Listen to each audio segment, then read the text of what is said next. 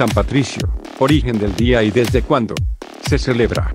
Cada 17 de marzo, Irlanda celebra San Patricio, una de las fiestas más representativas del país y cuyo festejo se ha propagado por todo el mundo. San Patricio fue un misionero y predicador irlandés que vivió en los siglos 4 y 5. Su figura ha pasado a la posteridad porque fue él quien introdujo el catolicismo en Irlanda. Además, y según cuenta la tradición, San Patricio se sirvió de un trébol para explicar la Santísima Trinidad de forma sencilla. El día asociado a la celebración de San Patricio es el 17 de marzo porque coincide con la fecha en que el santo falleció. Concretamente fue un 17 de marzo del año 461. El origen de la fiesta de San Patricio se remonta a 1931. Ese año se celebró en Dublín, la capital de la República de Irlanda, el primer desfile del Día de San Patricio en el Estado Libre de Irlanda.